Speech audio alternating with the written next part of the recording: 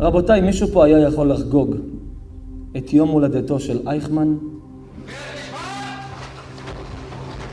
יש מישהו פה שהיה מסוגל לחגוג יום בשנה, שזה היום שמציינים את טבח העם היהודי.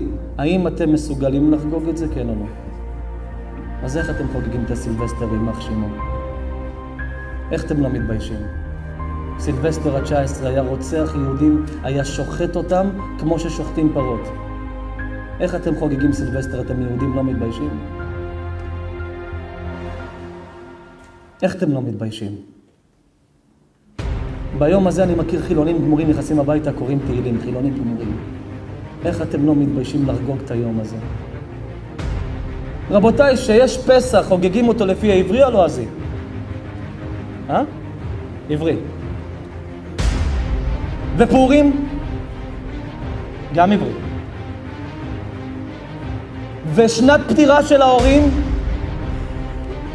אבל את השנה אני חוגג לפי השביעי לרביעי 2015, או לפי התאריך העברי שהוא נפטר? העברי.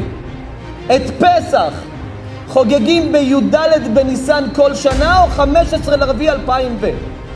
עברי או לועזי?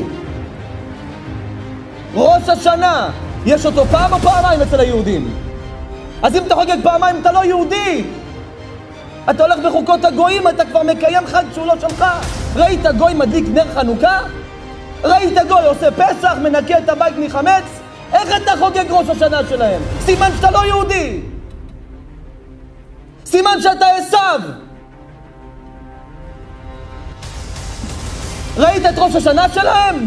נשיקות בשעה 12, כל התנאים האלה. מי עשה את הנשיקה הכי ארוכה? נו, זה לא, זה לא בושה? יוצאים לדיסקוטקים, ברים, שותים, משקים, בועלים, אונסים, מטרידים, מה לא עושים? זה יום השנה של הגויים, זה עשיו.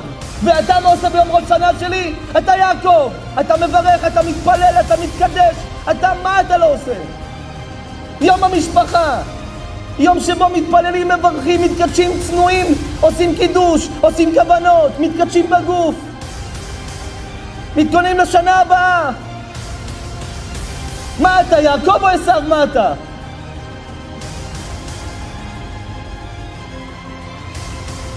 כולם פה חגיגים את כל הימים הכי חשובים בעברי, נכון? אז למה אנחנו עשווים ביום הולדת? חוגגים את המולדת בלועזי, למה אנחנו עשו? הימים הכי חשובים ליהדות, הכל עברי. מגיע ליום הולדת, נהיה פתאום ישו. חוגג לפי התאריך שבו ישו נולד. מה אנחנו, עשו או יעקב? מה אנחנו? שתי לאומים בבטנך. שתי גויים יש לך בבטן. אני אפריד ביניהם. יהיה הפרדה, או אתה יהודי או אתה גוי, או אתה עשו או יעקב, או אתה יצחק או אתה ישמעאל, תחליטו. אחרי השיעור תחליטו. הבחירה בידיים שלכם. אני בסילבסטר בוכה קורא תהילים על זה שנשחטו ביום הזה יהודים, ואני היום הזה הוא כלום בשבילי, לא שנה אזרחית ולא שנה חרטטנית. זה עוד יום! כי יש לי ראש השנה אחד, זה ראש השנה שלי. זה עשרת ימי תשובה מתחילים באותו יום, זה היום שלי, עשר ימים לפני כיפור. שבועיים לפני סוכות, זה ראש השנה שלי. אתם תחליטו.